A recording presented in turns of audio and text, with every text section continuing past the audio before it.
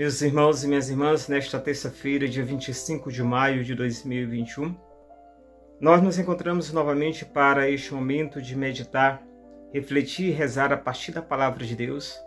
Palavra esta que se torna presente na nossa vida para o melhor conhecimento da pessoa de Jesus Cristo, aquele que se faz luz e ilumina e nos chama também a fazer, uma, tomarmos uma decisão no segmento. E eu te convido a tomar na tua casa as Sagradas Escrituras no Evangelho deste dia. É o Evangelho de Marcos, capítulo 10, versículo do 28 ao 31. Naquele tempo, começou Pedro dizer a Jesus: Eis que nós deixamos tudo e te seguimos. Respondeu Jesus: Em verdade vos digo, quem tiver deixado casa, irmãos, irmãs, mãe, pai, filho, campos, por causa de mim e do Evangelho, receberá cem vezes mais agora durante esta vida. Casa, irmãos, irmãs, mãe, filhos e campos, com perseguições. E no mundo futuro, a vida eterna. Muitos que agora são os primeiros serão os últimos, e muitos que agora são os últimos serão os primeiros.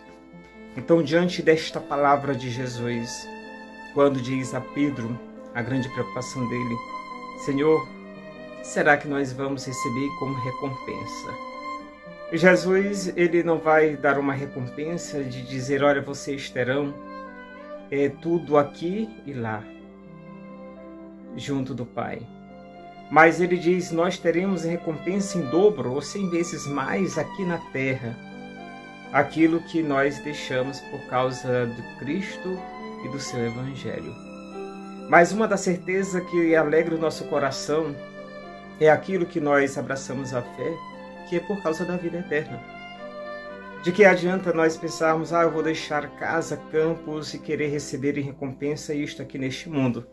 Porque Jesus deixa claramente isto explícito no, na sua palavra. Receberá isto com perseguição neste mundo.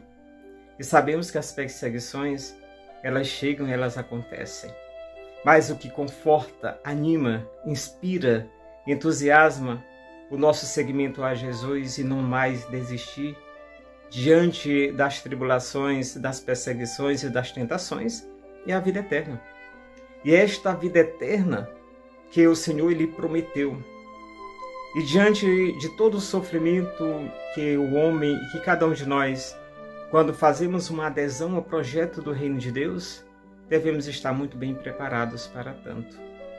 Por isso, meu irmão e minha irmã, eu te convido a olharmos sempre para o Senhor e reconhecer que, mesmo que nós tenhamos, ou às vezes nos preocupemos com muitas coisas aqui neste mundo, ou até mesmo às vezes do querer agradar para fazer com que sejamos também reconhecidos. O Senhor nos promete a vida eterna. E é essa que cada um de nós devemos buscar. Buscar e ela vem e procede do Pai para a vida de cada um de nós, por meio da vida e dos ensinamentos de nosso Senhor Jesus Cristo.